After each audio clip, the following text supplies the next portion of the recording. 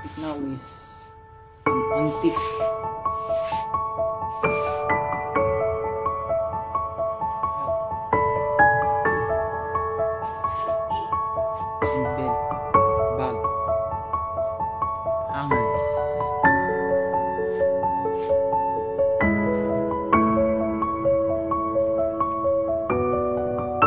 Close the belt